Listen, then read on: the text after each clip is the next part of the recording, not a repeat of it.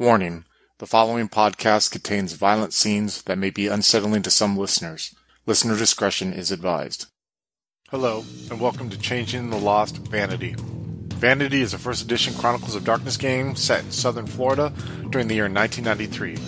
Follow Katrina, played by Tillman, Raymond, played by Chris, Isabel, played by Andrew, Frank, played by Slavic, and Adam as the storyteller as they uncover the mysteries of the true Fae and forge new paths for themselves in a world of beauty and madness.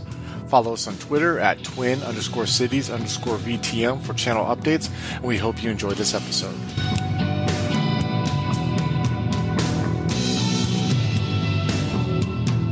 Hey guys, welcome back to Changeling the Lost Vanity. Uh, we're going to just jump right into it. Uh, where we left off last time, Manny and Frank were following Melissa into a, a dark subway tunnel where where she says that she resides. She basically swallowed a handful of pills and has kind of been bringing Manny and Frank on this sort of like a wild goose chase to pick up the last living member of her motley, Emily. Melissa is trying to get out of Fort Lauderdale, and somehow Manny and Frank have been able to convince her to tag along with them in exchange for for protection not not like an official pledge or anything like that. Just convincing her that it's in her best interest to to come with you guys if she wants to stay safe. Hoping that you guys would probably get some information about Raymond. Instead, you guys kind of got a lot of incoherent babble, a lot of drug addled nonsense, um, kind of a lot of being jerked around. And basically, she's brought you guys to this empty train station.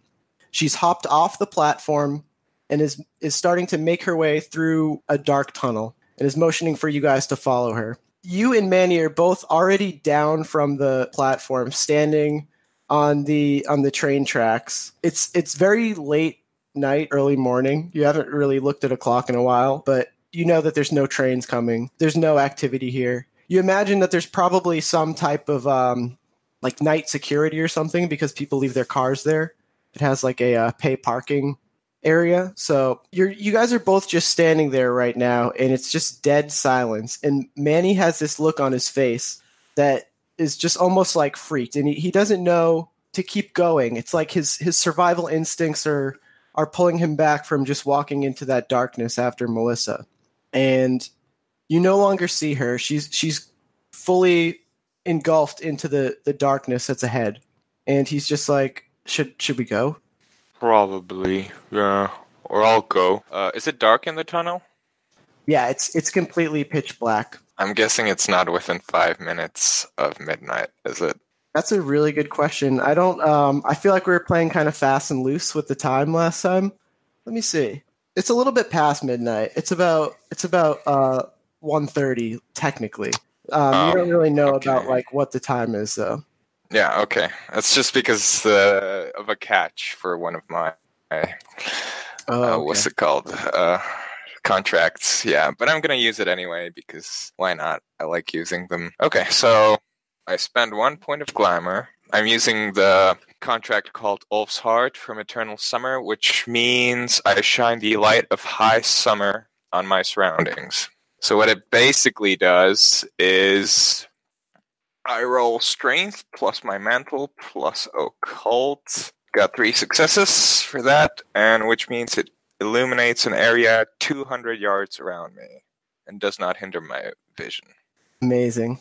So yeah, you you you pull that contract and you just feel the weird tingling in the back of your neck and it's like a it's like a, a flare kind of just just lights up in front of you and you can see you can see just like Melissa you know maybe maybe 10 15 feet in front of you in the blackness and it's like the light just shining on her. She just casts like this shadow up against the stone wall of the train tunnel and it's super bright and she she covers her face with her arm and it's just like you know trying to trying to see what's going on. But in her her drug addled state she doesn't question what you've just done Manny yeah, uh, Manny begins t- to walk after you too. He's like, "I'm not. I'm not going to let you just go by yourself. Wait, yeah. wait up, wait up."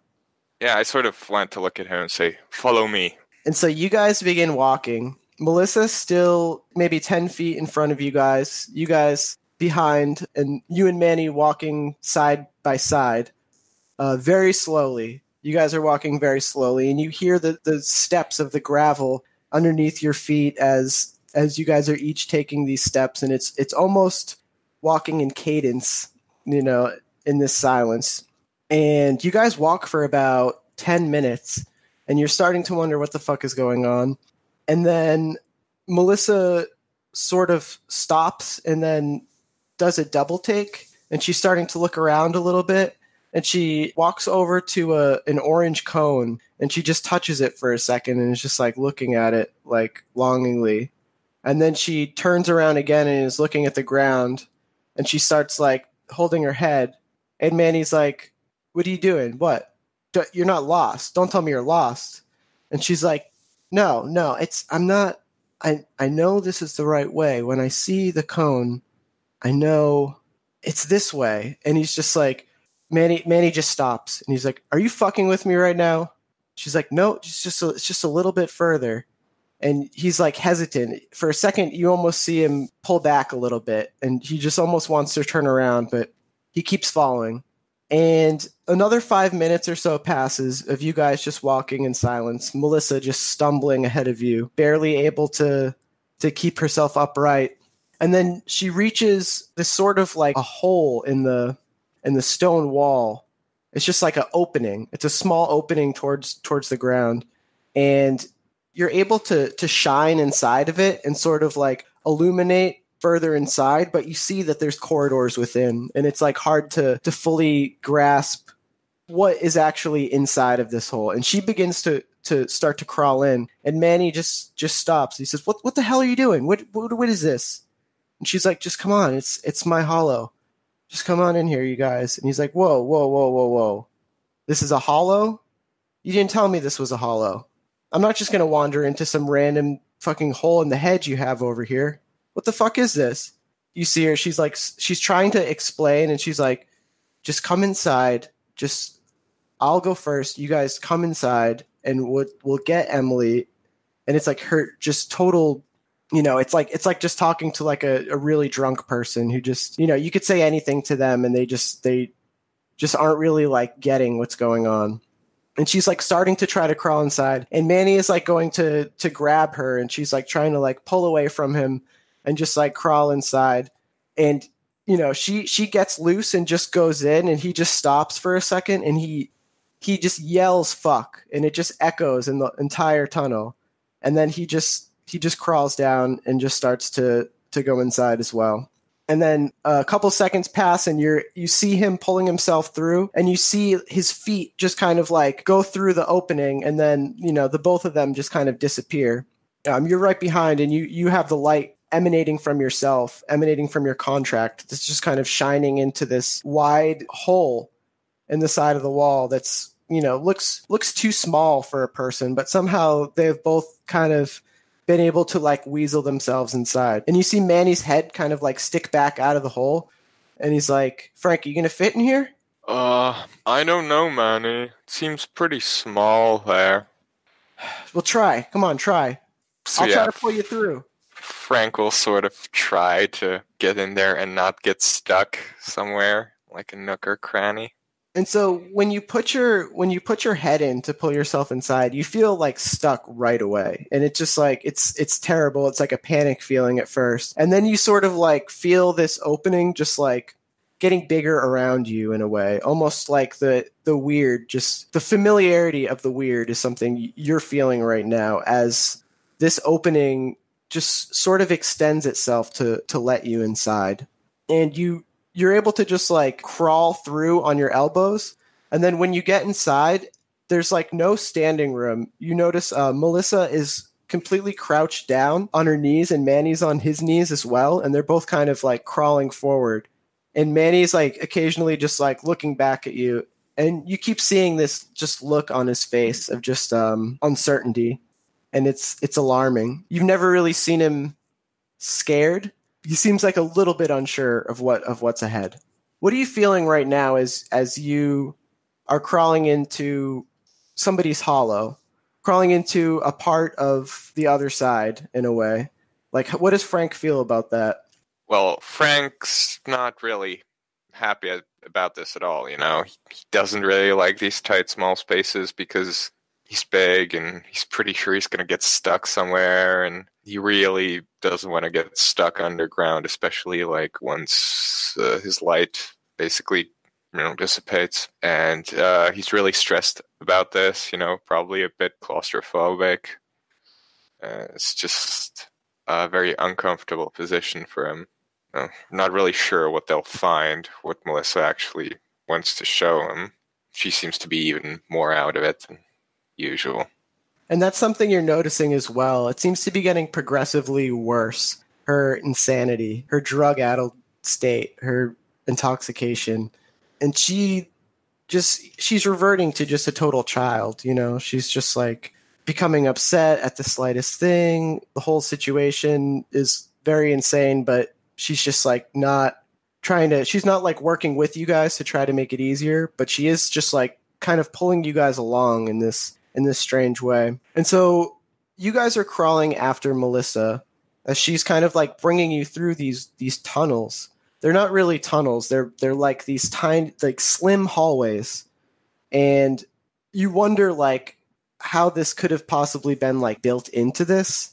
But like the tingling of the weird is trickling up on the back of your neck and it's it's making you kind of feel the closeness of the hedge as you trail after Melissa. And Melissa eventually gets to just like a, a, tapestry sheet and she peels it back and crawls inside. And then Manny peels it back and crawls inside. Do you uh, go in? Yeah, definitely. Just probably rip it open by accident. So you you peel this sheet back and you you go inside and it's this wave of of just otherworldly energy just like passes over you as you are inside of the crow people's hollow. And it's just the otherworldliness of the hedge is just something you feel like the second you take a step past that sheet it's like a it's like a hot air that's just kind of like blowing against you. And it's just like it's overwhelming for a second and it's like strange and magical feeling. And you it gives you like this sensation of first fear then childlike wonder and then just total fascination with just the the energy of it and it's just like it takes you back because I, I would imagine that like Frank hasn't really done any wandering into the hedge much on his own. Probably a lot of people that you've talked to in this freehold don't really like make light about the hedge at all. They don't you don't go there for fun. You don't mess around there. It's not it's not safe at all. So what are you feeling now that you're in here and you get this this wave of the of the weird and the glamour that's that's here and it, it gives you this this spark? So Frank would sort of feel on one hand he's a bit glad or something that he feels it because he's very low on glamour currently, has one point of glamour. So, on one hand, you know, feeling that energy around him is like something comforting for a changeling, but it's also scary because that he knows like where that energy comes from and where he is basically, where he is at, you know, where what it borders. He knows what's behind it, so to speak and it's a it's a scary and intoxicating feeling. Uh, yeah. You start to think about like the first time you you got drunk when you were like a kid or something, or just like or just like breaking the rules from your parents and just like playing at night, and it's just like this weird feeling of like freedom, just joy and it smells like incense. It smells like just like perfume, like fragrance, just very in your face kind of like the the colors and the smells and everything. Everything kind of like shines brighter in here. And when you guys first part the sheet and you step inside, there's like a lot more room than was coming from the tunnel. And it's like a spatially, it doesn't make sense to you to, to come from such a small opening into such a, a big area. But it's like this big circular room and you see like these little hammocks that are kind of like strung up all around and in the middle of the room there's just a lot of just junk like you see like a trunk of just like clothes you see all sorts of like mortal human belongings bedding, clothes, trash, uh, food wrappers. You see all types of stuff that like people would normally have just like in their apartment, but it's just kind of like seems out of place in this almost like magical landscape. This room that just does not seem to be out of architecture, seems to be out of something weirder. And Melissa kind of just like goes straight towards the other end of the circular room and kind of like pushes pushes on the wall, pushes on the wall. It's like a plywood section of wall that kind of just like tilts to the side and you see like an opening past the room. And there's just sort of darkness in this room here and it's kind of like she's she's like moving a piece of the wall to get to what's behind it. And she's like, "Don't worry guys, this will only be 1 second. I'm just going to get Emily and we're going to get out of here." and you see the look on Manny's face is just total horror. He's just like, what the hell is going on? You're starting to get the vibe that Manny is not comfortable in this place at all. You don't sense that he's feeling the sort of juvenile fun energy of this place. And he's just like, he just looks horrified. He just looks like he's seen a ghost. Are you okay, Manny? You seem not okay. I just want to get out of here, man. This is this is weird man. I just want to get out of here. Something something about this i don't i don't feel right at all here. I just i feel and you, you see him he holds his head and he, his eyes like scrunch up. And he looks like he's about to just break down for a second and he's just like all right let's let's just let's hurry up. Let's just get out of here. I i, I don't think i can stay here any longer. And melissa's well like, i'll just i can wait and you can go back okay no, Frank, I can't leave you here. Let's just let's just do what we got to do, and, and we'll get we'll go. It's fine. It's fine. I'm not I'm not leaving. And you see the the wall that Melissa's pushing on just kind of like falls away, and you just see this swarm of flies just kind of like Run, come out from behind it. Run. And he's he's stuck. He's just stopped. And you see Melissa's just standing there calmly, Dragon. and she she pulls out this duffel, very very long duffel bag, and it just seems like the flies are just like pouring out of this bag, and the smell just hits you of just death, the smell of decay, of just rot. And she just goes, Emily, Emily, it's time to go now. And you see oh, Manny, he Oh. he he puts his hand over his face and, and starts to gag, and he's like, and he turns away, and he's like, "What the fuck is that?" It's it's Emily. We we have to bring her. I can't I can't leave without her. And there's just you just the buzzing of flies is just so loud, and just the smell of this is just worse than anything you've smelt before. And Manny's just like, oh my god, oh my god, and he's he's he starts to throw up like not just like projectile vomiting, not like a ton, but like you see like he he just dry heaves and like this trickle just comes out of his mouth and he just turns around to just to just take off. And you guys you guys turn and you're starting to like make it towards the sheet and you just hear like this rustle from the sheet again and he just stops and he just goes what the fuck was that? And you're still just hearing this uh these flies buzzing Melissa just holding this duffel bag with just stench and flies just coming out of it. And you just like, you can't see what's inside the bag, but this bag is just, you know, there's holes, there's dirt on it, there's, there's like sand and dirt just pouring out of the bottom of it. It looks buried. It looks like it came from the ground. Manny, what's happening? Manny's just kind of like frozen for a second. And it seems like he's out of his element. He's you've never seen anything get the jump on Manny. Nobody's seen anything get the jump on Manny. Manny of the summer court with the, the high summer mantle where you just feel his heat every time he's in the room. Nobody ever gets the best of him, but you see fear in his face and you see dread in his eyes. Uh, how long did you say that your contract lasts? A scene. A scene?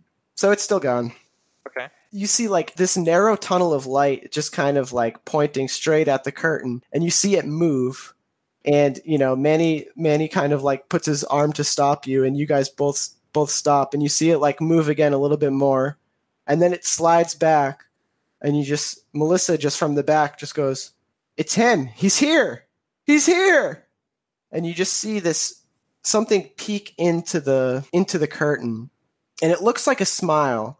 And you you you start to try to focus your eyes. And you see that it's not like a smile. It's a mask a halloween mask torn down the middle with with threads thread sewing it back up of just a just a smiling pumpkin face. And it's torn to shreds and it looks like it has other masks sewn into it as well. And Melissa's just it's him. It's the swamp daddy. He's going to kill us. And like just as she says that, you just see the curtain pull back all the way and this hulking brute of a figure just starts to pull himself through the enclosing and into this this small room of the hedge of the hollow i'm sorry okay uh, how big is he so he stands about seven feet tall the way that you see him when he when he steps into this curtain and he's just kind of just standing in the hollow it's this seven feet tall hulking brute with a pair of dirty overalls that are kind of soiled, stained, ripped up. And then he has this striped shirt underneath that's just kind of just like a very basic, I don't know, like long sleeve like work shirt. Mm-hmm. And you see there's like a whole bunch of uh like key rings and stuff like attached to his hip, but they're more just so like they're like not like keys, they're like keychains with just like businesses and smiley faces and little like knickknacks and just little knickknack keychains, I want to say, not like anything of use. And he's got these like tan construction boots on. It's like there's no parts of his skin that are exposed. There's like these black winter gloves.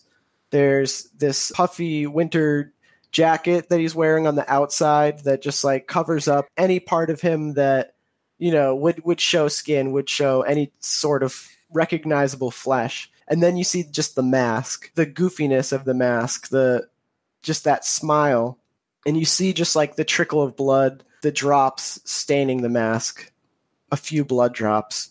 It's just staring back at you, breathing heavy. So Frank's probably going to run up to him, shout, shout. He's going to shout at Melissa, Get back! Get back! Manny, come, help! And he sort of tries to push him back from where he came. He's actually taller. Wait, so who is taller, you or the Swamp Daddy? Uh, Frank. okay, I figured because you because you're an ogre. Yeah, yeah, I mean, so yeah, you you just rush up and um, let me see. How can I do a roll for this? I guess it'd be a contested. Probably be something like strength plus athletics or strength plus brawl. Okay. Okay, so first I'm gonna activate Might of the Terrible Brute, plus use a willpower point for that. Okay, so this is gonna be a lot of dice. Yeah, Frank's gonna be using 17 dice. If he, what the uh, fuck? that's awesome. My, go for it. Yeah, and yeah, it looks like true. we're matched. Will Manny help me though? Yeah, uh, Manny's definitely going to jump in and try to help. Okay, so you get Manny's three as well. So you guys are able to kind of just like push him back through this opening, and he he goes backwards and just falls on his ass, like like rolls back a little bit, and just like hits the the back end of this tunnel, and just like right away just is starting to like slowly get up and lumbering back towards the opening again. You can just hear these slow steps just starting to lumber back. And melissa is just screaming bloody murder, just, oh my God, oh my God, oh my God, he's gonna kill us right now. Somehow this this is just like snapped her out of it. You know what I mean? She's just like, oh my God, oh my God, he's gonna kill us. Get me out of here, get me out of here. She's freaking the fuck out she's still clutching this bag that's just emanating flies and stench and just grave dirt and filth. Within a couple seconds, he's he's going to get back up to the uh, to the opening again to try to try to make his way back through. And it's almost like you're starting to sort of like gauge the responsiveness of this this thing, this this this brute. And it's like, you know, he seems like slow to react. You know, you guys just like kind of pushed him on his ass, but he's getting back up and he's he's still he's still coming straight at you. Okay, and uh, Manny, uh, we have to go. One second, I'm gonna make a quick roll for for him. Okay, so when he gets back up and steadies himself, you hear like the the steps starting to go towards the sheet again and then you you hear him take like these two just like really fast steps and just try to like shove himself through the through the opening and he's just like wriggling violently just like trying to get into the opening and he pulls himself through and and falls and kind of stumbles again into the hedge and he gets himself back up and he seems like very wavy very out of it but he's moving fast now Okay. Uh, is there anything we can sort of ditch in front of him while we sort of run straight for the exit? Uh, well, you see like a lot of different kind of like belongings. I would say if you were to just grab for something at arm, you know, whatever's like an arm's reach of you, it would probably be just like there's like a trunk of clothes in front of you. That's yeah, like maybe trunk of clothes, a table, anything, you know, anything.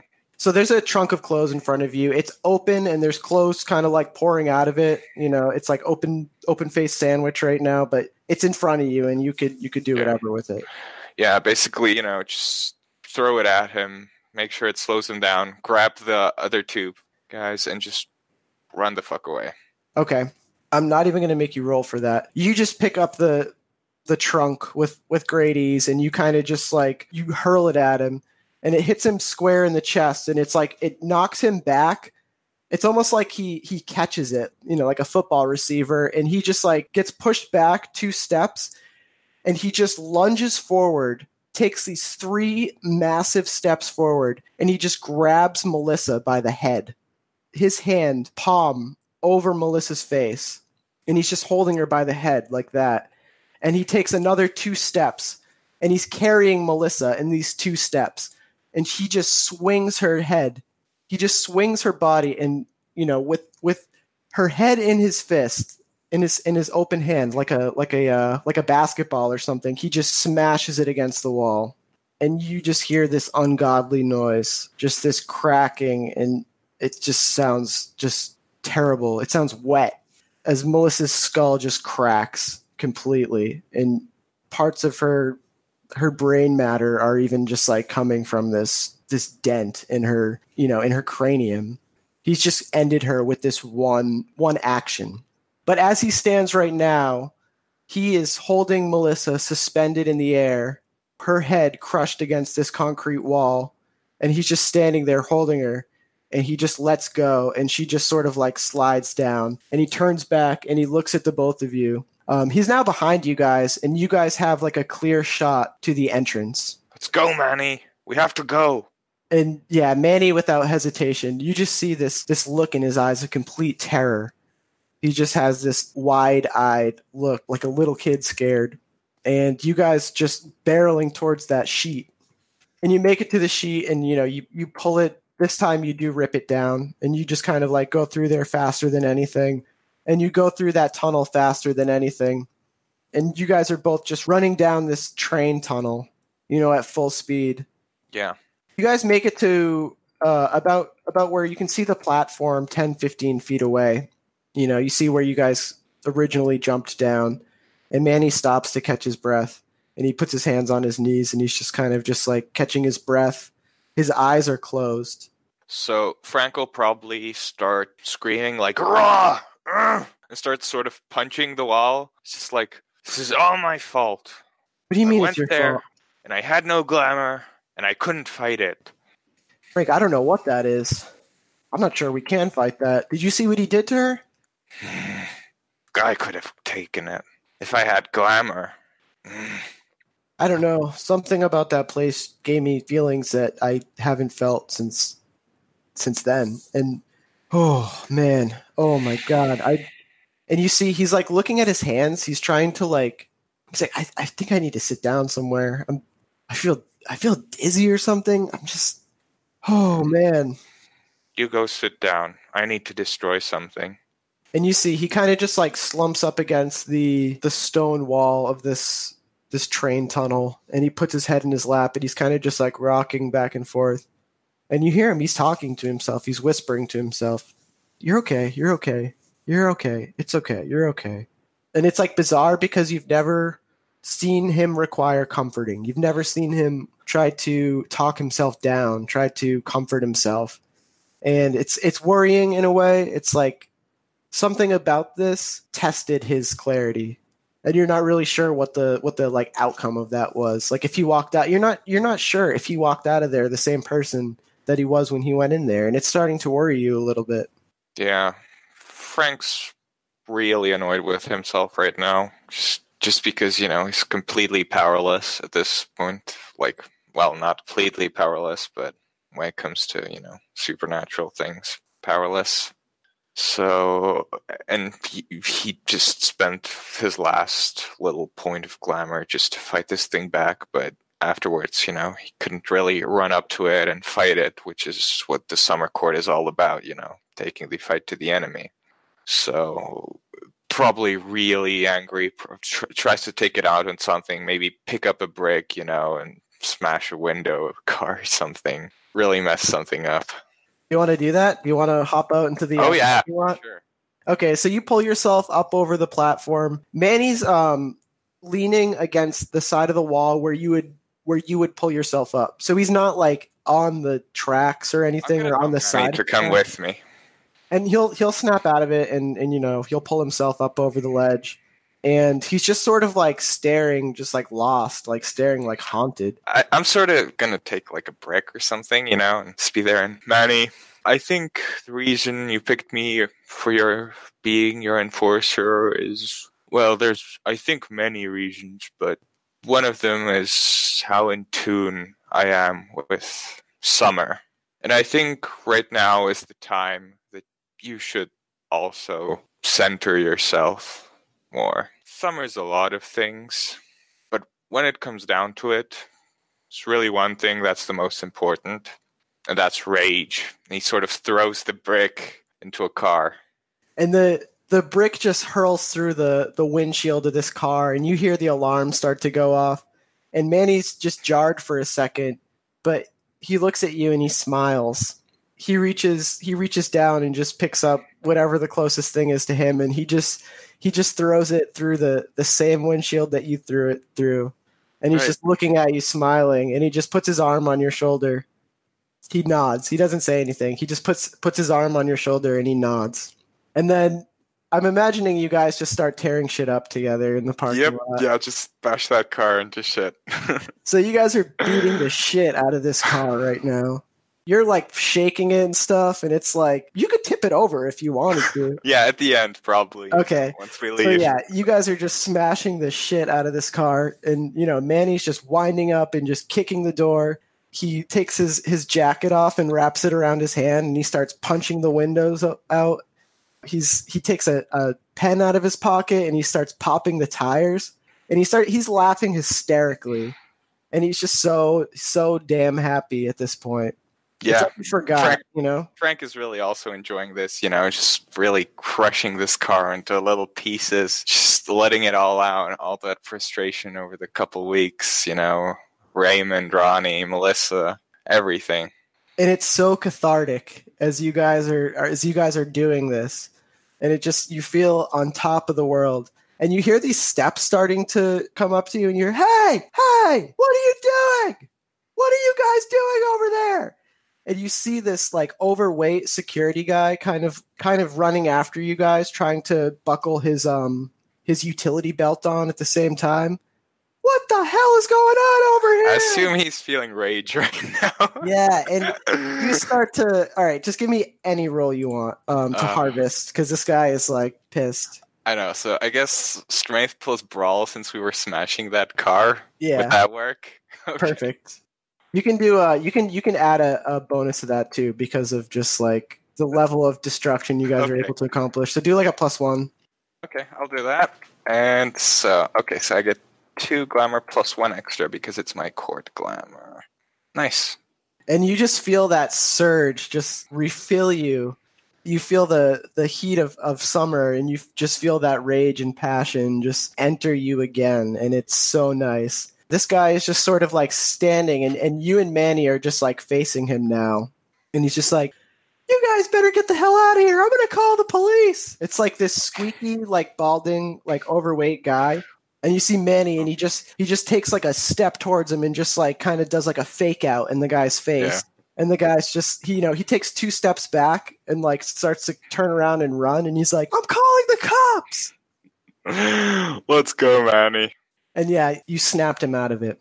And he presses the uh, the unlock button on the car, and you guys get in the car, and he just starts driving. He's not saying anything; he's just smiling. Yeah, so is Frank. You know, it's just, just a little bit of happiness in a very, very uh, dark time. Super dark time. He's not even acknowledging like what you guys just experienced together. He's just kind of joking and like he puts the radio on and stuff like that, and he's kind of like tapping his fingers and stuff. Yeah, Frank will probably like fall asleep in the car or something. And yeah, so he just keeps driving, and you just you just put your head down and doze off. Oh, hello again, folks. I'd like to tell you about the Facebook group we run called White Wolf and Onyx Path RPGs Gameplay and Media. Have you ever wished you could have an easy way to find gameplay videos and podcasts, or just media in general that deals with your favorite White Wolf role playing games? Or have you ever wished you could find a forum to share gameplay that you have recorded? One that won't be drowned out by random posts and discussions, so that your media could get the attention you deserve. The group is specifically run with the sole intent of being a one stop shop for people to view or share media involving the games we all love.